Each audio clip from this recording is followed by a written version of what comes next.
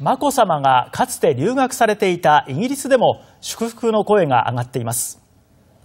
眞子さまはこちらイギリス中部のレスター大学の大学院に留学されていました。関係者からは喜びの声が上がっています。眞子さまは国際キリスト教大学を卒業後の2014年からレスター大学の大学院で博物館学を学ばれましたまた大学近くの博物館などでも研究をして子ども向けの催しを手伝われることもあったということです